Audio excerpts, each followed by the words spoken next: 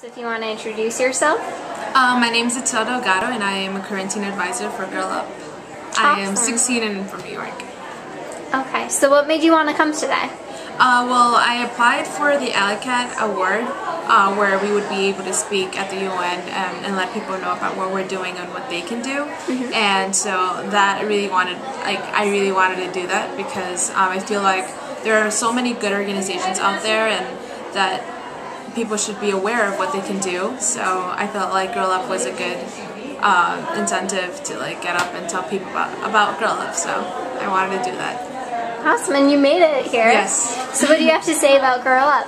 Um, Girl Up is awesome. Um, they help girls in less developed countries get access to an education, access to hospitals, um, clean water. I mean, it sounds like clean water is just normal. Like they don't have clean water, but in actual places, um, they don't. So, Girl Up is good with things like that. So what has it taught you? Um, definitely, I don't take, not taking things for granted as much because, um, as I said with the clean water, I didn't think that was important at all. Um, and after working um, over a year with Girl Up, um, I realized how important clean water is. And I mean, most of our body is made out of clean water, so we should, we really do need to take a step back from where we're at and think about the things we have and what others don't have and appreciate that.